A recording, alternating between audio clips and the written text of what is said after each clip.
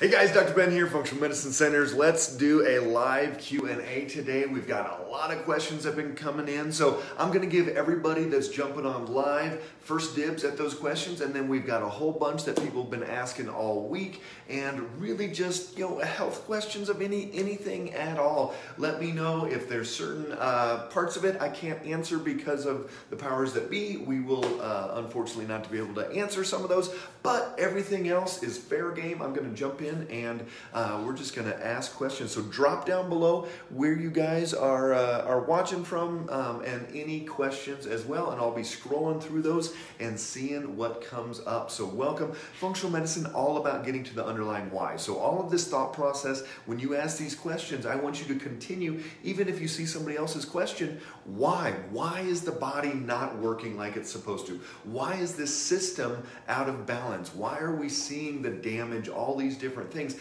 And it's not just a, ooh, let's, uh, let's come up with this magic juju berry, but let's come up with why that system is out of balance. So, um, yes, Gina, it is all about the why. Think about this. Um, can't sleep. Natural world, take melatonin. Is that fixing it? No, that's not fixing it. Um, it. If you've got digestive issues, take enzymes. Is that fixing it? No, you've got to take that step back and get to the underlying why. So that's what we're going to be. We're going to be asking uh, some of these questions, and we'll be answering some of those. So um, one of these, uh, let's go.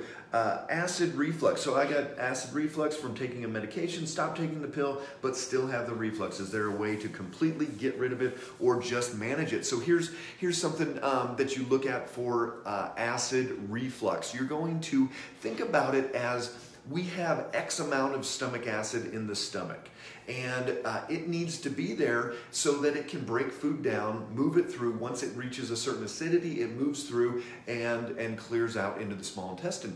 If you're getting acid reflux, you've got one of two things going on. One, the valve is not closing like it's supposed to. So if you're not closing that valve like you're supposed to, reflux, that stomach acid, is going to be able to push back up into the throat.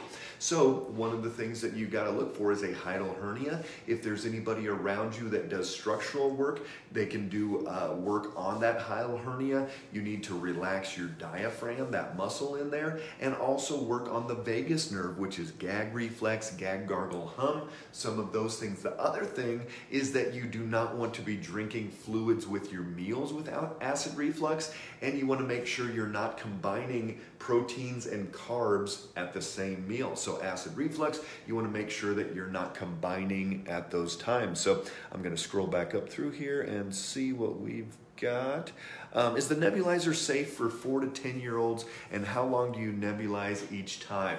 Um, so uh, Debbie, the nebulizer again you know i can't make specific recommendations that i don't you know that's not my patient anything like that. But the nebulizer has been shown to be safe for young children. Um, you know again it's an individualized thing. And how long? Um, you know for the kids i would do uh, maybe a quarter to half of the amount that you're doing for an adult and maybe uh, five to ten minutes on those as well. So um, yes, that will be good there. Uh, how much quercetin should one take daily? How about zinc, vitamin D, and C? So here's the thing with supplements, especially vitamin D, is that you need to be between 60 and 80 for your vitamin D. If you start out at 10 or 30 or 50, you're going to need different amounts. So you've got to check your vitamin D levels and then you'll know how much to take. And then you test again. And then if you're up in the 60 to 80 range, great, you're doing really, really good. So um, vitamin D, you've got to test zinc.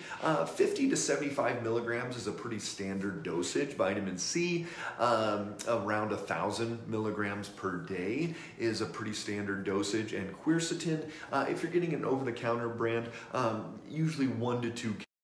Um, that will be good on those. Let me scroll through here. Hey, Misty, good to see you. Um, why does some foods spike you high and drop you low right away while others keep you high for a longer period of time? Leah, great to see you. Um, uh, Dylan's been working hard on those coasters. He's got some uh, got some good ones coming to you guys. So um, why does some food spike? Well, here's the thing: is that some people can do totally fine with. Uh, they'll do totally fine with sweet potato, and other people will not do okay with sweet potato. And some people do fine with banana, other people do not do fine with banana. So, um, and it's usually this the higher glycemic that food is, the more it's a um, starch, grain, sweet, something like that, it will usually spike higher and faster, and then the body kicks out that insulin and pulls it down faster. Where certain things, like if you do more of a complex carbohydrate, it may go high, not as high, but it's going to stay high longer through there. So, you know, it, it's not so much just that spike and crash that's the problem. Um, I would rather have somebody go up to 130, drop down to 80 within 30 minutes than hit 120 for three hours, like some types of, of complex carbs are doing. So you've got to uh, figure out which foods do that, but also buffer it. Protein, fat are going to be really good buffers so that it does not uh, spike up and crash down too low. Erica in Rome, good to see you. Christy, um, son has digestive pain in, in, the stomach, burning in the chest, not uh, heartburn and daily headaches, age 19 causes. Christy, I always say we see just as many teens and 20 something year olds as we do 50 and 60 year olds.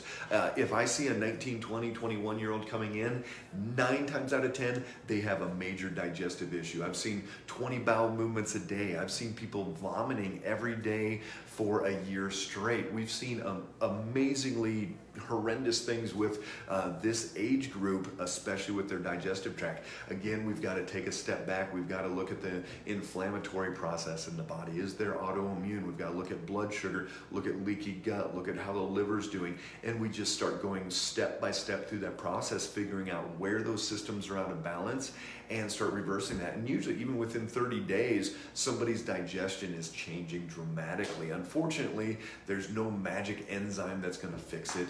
Uh, you know, there may be certain foods, an allergy elimination diet would be a good place to start as well on that one. Um, and we've got Mary. Um, good to see you there, Mary. Toby, great to see you as well. Um, Angie in Mexico, good to see you. Hope things are well down in Mexico and you guys are, are rocking it.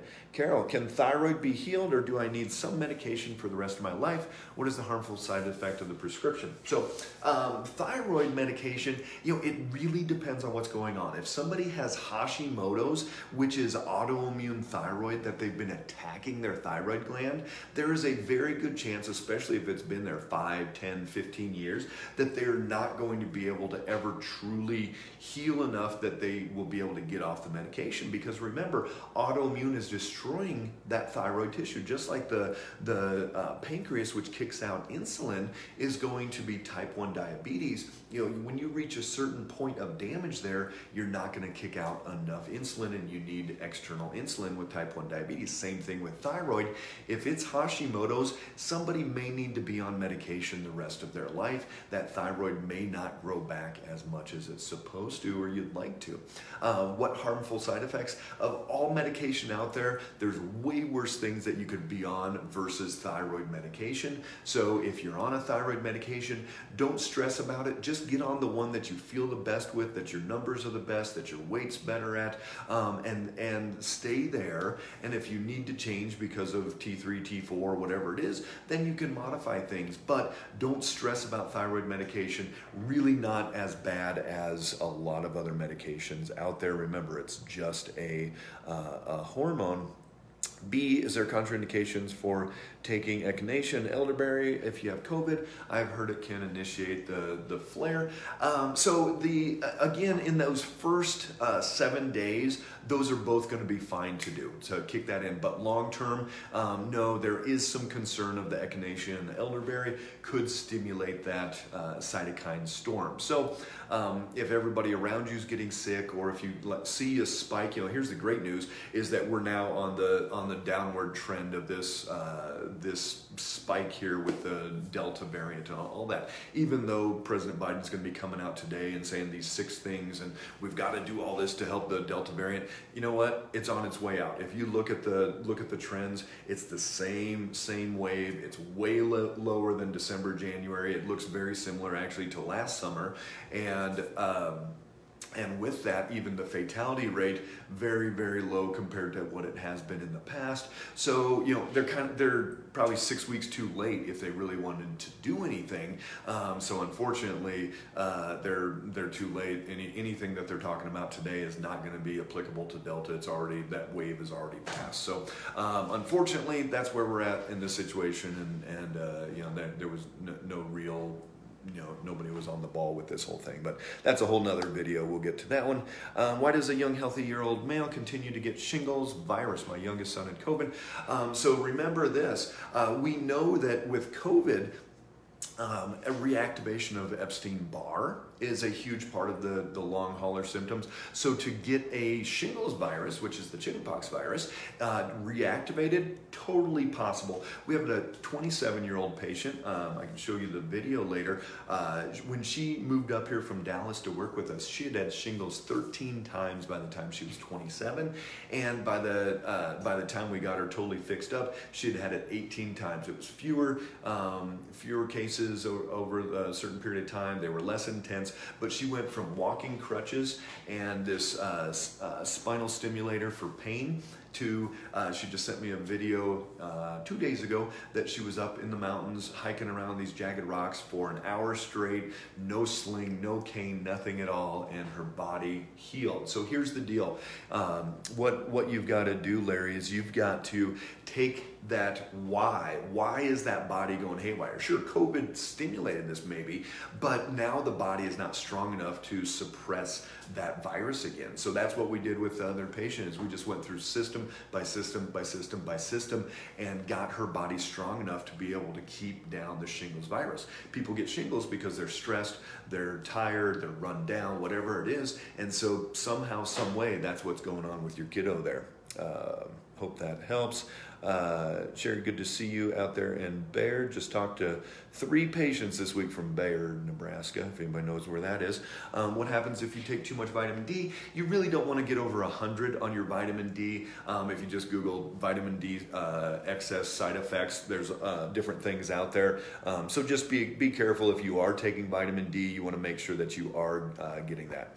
Um, so you've got CGM. My ranges are staying between 55 and 85. We'll spike up to the 120s and um, sorry, Misty, I can't see the rest of that. Um, and so tell me what else you're saying there. Uh, so it says we'll spike up to the 120s with certain things. So uh, if you got any specific questions there, send that again. Um, cut off half of that one. Um, so Misty's talking about the continuous glucose monitor, which is a great way. It's something we use with all of our patients now to really keep them steady in that range. Can inflammatory and other health problems uh, be related to dental health? Yes, for some people, if you have chronic root canal, if you've got um, infection in your gums, anything at all in the mouth, there's in acupuncture, each tooth is related to a different meridian, different organ system, uh, different body part. There's a lot of different things that have to do with the teeth. Um, it's not the be all and end all. I've seen some people spend thirty thousand dollars on on uh, mouth work, teeth work, and not get any change to their health. And other people have had some really good things. But if you have an active infection, a chronic infection in your mouth, you've got to get it taken care of. And I would recommend seeing a biologic dentist. Um, what is the best sweetener? I don't use um, any of my coffee. Uh, you know, stevia is probably about the best one that you can do. You can do monk fruit, do coconut sugar, some things like that. But ultimately, anything that doesn't make the blood sugar go up, um, as long as it's not artificial and uh, any of even the erythritols are a little bit iffy, they can cause some GI distress. So. Um, yeah, stevia, make sure you're getting it from a good source as well. Um, what do you think of the uh, uh, clonal antibodies if someone gets to the point um, in their illness. Uh, you know, from what I've seen so far, they do have a positive effect and um, some people are, are doing well with them. So I would definitely keep it on your radar if it would get to that point. And let's see, my thyroid levels are normal, but my histamine levels uh, are off. So, Susan, if somebody's histamine is out of balance, usually that's an inflammatory process in the body. So, you've got your symptom line, and everything is just jacked it up so much that it doesn't take much to go up over that and get a histamine uh, flare in there. So ultimately you've got to take down all these other systems all these other uh, other areas out of balance so that even if you do get a flare or you get exposed to some allergens or whatever it's going to take a whole lot to get up over that histamine level. So anybody out there, if you're looking into histamine things, it's usually still a full body thing that is causing that, that flare. Um, and Amy, uh, can kids take quercetin? What would be an appropriate dose? I know adults can take 500, can take, kids take 250. Yes, again, I can't recommend that your, your child take quercetin, but I have not read any, uh, any research showing that there's problems with kids taking the quercetin, especially short term around, um, around exposures to, to bacteria, viruses, things like that. So that would be fine. Uh, let's see what else we have here. And again, anybody jumping on pop down questions below. This is a Q&A. Um, if there aren't any more, I'll start getting into ones that people are asking. Um, uh, thanks for the kind words there, Gina. Um, uh, summer, the angry reaction, that's okay. Uh, what is the safe dosage for vitamin D for kids and teens?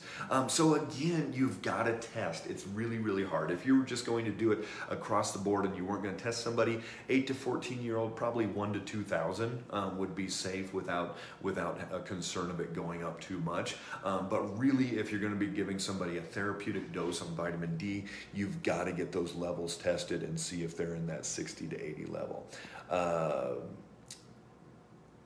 let's see here. I was curious. Uh, best way to supplement vitamin, vitamin B's. Um, you know, you can do some uh, some wheat germ um, can be helpful for that. Some brewer's yeast can be helpful for that. Otherwise, just straight B vitamins, as long as somebody doesn't have a MTHFR deficit, uh, and then they would want to get some methylated Bs. Um, Teresa, uh, I cannot talk about that one on here. Um, you know, there are a lot of different reports that you can you can read on, but um, unfortunately, I cannot talk about that. Um, yeah, Larry, uh, let us know. Yeah, well, send us a direct message and we can talk more specifically about that, Larry. Uh, reactions to vitamin D, two different occasions, but it was two different brands. Um, so if somebody has reactions to vitamin D, we've seen this a lot on here, go ahead and start doing tanning booth. So um, once a week, go find a tanning booth, and even the older school that doesn't uh, filter out all the rays, uh, get an old school tanning tanning bed membership. Do once a week, and that vitamin D should come up. Um, and let's see here. Uh, fruit will spike, but sugar levels fall right away. Could my Hashimoto's be acting up? Remember, anytime some, we spike up a bunch, um, that insulin spikes and it can stimulate that autoimmune, stimulate that Hashimoto's misty. So um, fruit, try to buffer it, apple and almond butter, or do a slice of cheese, or you know something with some fat and protein. See if that will buffer uh, that blood sugar spike, and that could definitely be helpful in there as well. Um, COVID beginning of August, only symptomatic one was my son, whom is um, type 1 diabetes, took ivermectin. I can't see the rest of your message. Go ahead and send me more of that if you've got a question there, Morgan.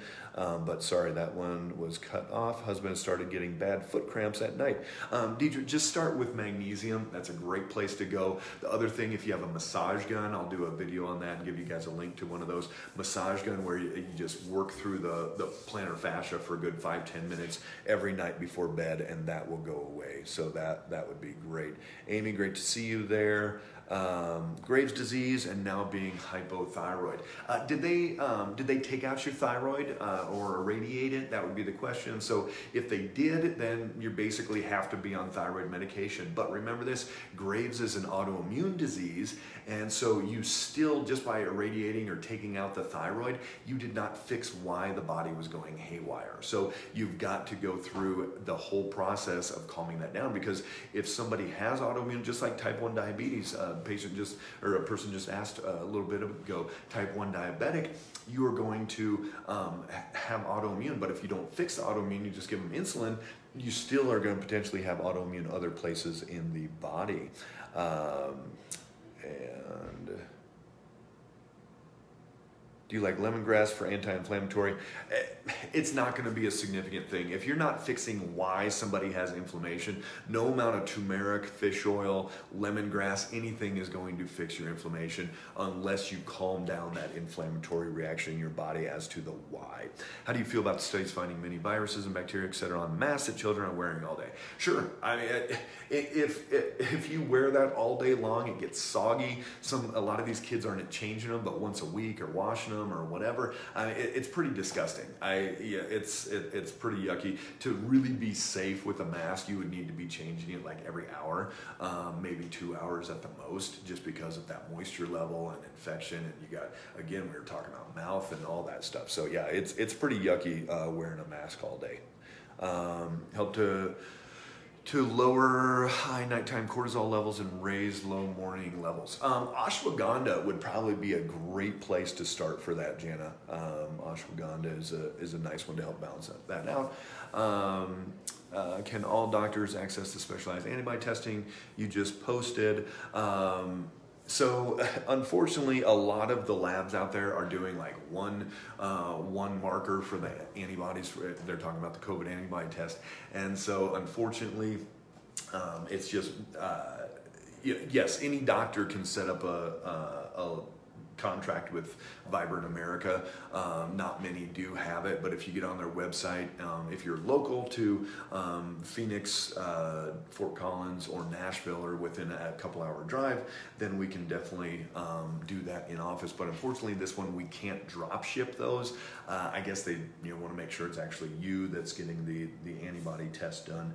Um, let me look at some of these other questions on here and. So hope that helps. Um, parasites, yeah, Gail, parasites are not fun. Um, you've got to do kill off. You've got to build build back up. Um, do do a lot of different things there. So um, that's a big part of the process. Uh, it's it's definitely more complicated than a um, than I can give you guys right here. So my doctors test my thyroid levels once a year just to keep my prescription current, but really nothing more. So you've got to check Hashimoto's markers, uh, anti uh, TPO, anti thyroglobulin. You've got to check your free T3 and free T4, uh, total T3 and total T4, and your reverse T3 and your TSH. And then you might have some ideas as to why your thyroid is out of balance. But you've got to test all of those. How much vitamin D? We just uh, we already talked about that, Lexi. Um, enough to get you to 60 to 80. So really, um, really bad. I had COVID and have Epstein Barr. Absolutely. So same thing like the we were talking about with shingles You've got to get that calmed down by building the body up, getting the body as strong as feasibly possible. So, uh, you know, it, anybody that's had COVID and has had Epstein Barr in the past, you've got to be able to um, to build that body up, just like we were talking about with shingles.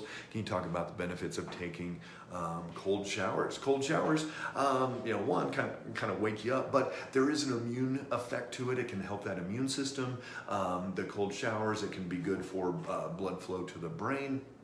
Uh, so yes, for a lot of people, you don't have to do the whole thing, but even the last uh, 20, 30 seconds of that shower to do it cold. And out here in Colorado, I can tell you this is a lot colder than in, in Nashville. when I was down there last time, I did a uh, cold shower down there and I'm like, oh, this isn't too bad. But out here, we got some cold water. So um, definitely beneficial to do some uh, some of those.